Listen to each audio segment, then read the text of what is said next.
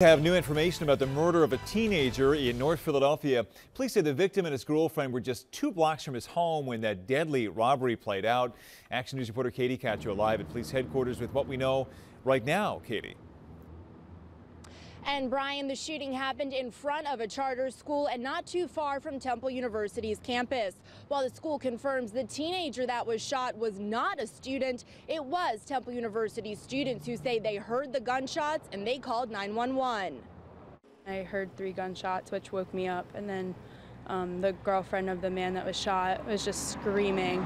Samantha Helstrom and her roommates woke up to a fatal shooting just after 2 a.m. right below their apartment on the 1700 block of Cecil B. Moore Avenue in North Philadelphia. We looked out the window and he was just laying face down. Police say 18-year-old Ahmir Jones was shot in the chest about two blocks from his home. His girlfriend says she was out walking with him when two men, one armed with a gun, pushed them up against a wall and went through their pockets, taking her cell phone. Then she says for no reason her boyfriend was shot in the chest. Her screams were louder than the gunshots itself.